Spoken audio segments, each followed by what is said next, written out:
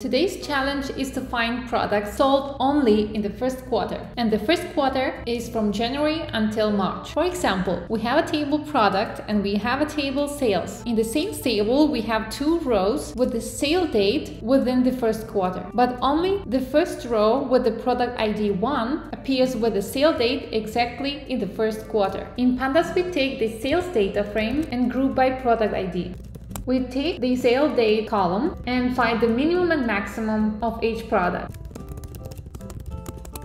Now we take this dataset and filter for products where both min and max dates are within first quarter of 2019. We take this dataset and we merge it with the product data frame. So we use the pandas merge function and we perform an inner join. And now we are ready to return the result. We return the product ID and product name. So let's run it.